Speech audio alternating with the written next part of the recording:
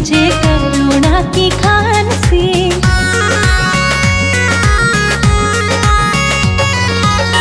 कभी कभी लगती मुझको तीर कमान सी। कभी कभी लगती मुझे करुणा की खान सी। कभी सूरदास कभी लगे